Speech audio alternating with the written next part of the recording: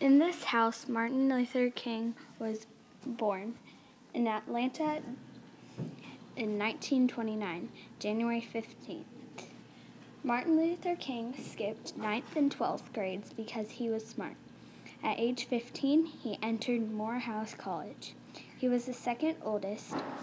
He had a brother, he had an older sister named Christine and a younger brother, AD.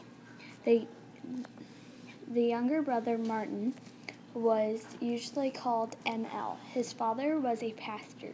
One of Martin's grandfather, A.D. William, also also had been there.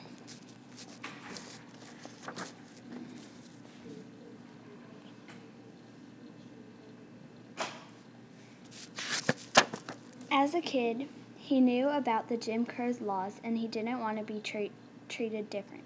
He didn't like that he had to sit in the balcony and sh- and in shops they had to look through the side window instead of the front.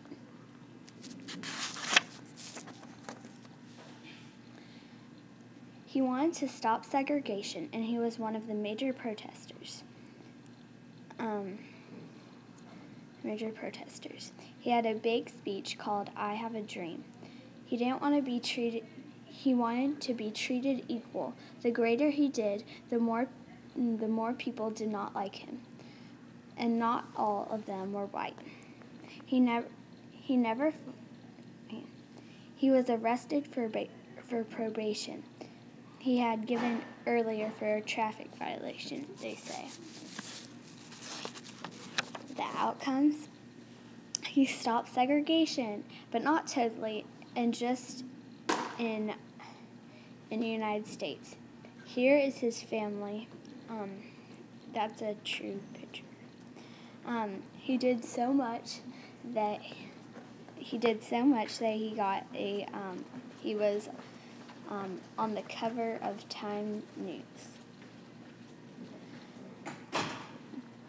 And in, he, he did not stop segregation everywhere and not totally. He he got black people so they could vote and so they could be treated right. They can sit where wherever they want on the bus, but they could but they could but they could be equal. He died by Jer- James Earl Ray. Here's another picture of him being arrested. And here's his family when he on his memorial when he died. And that's his memorial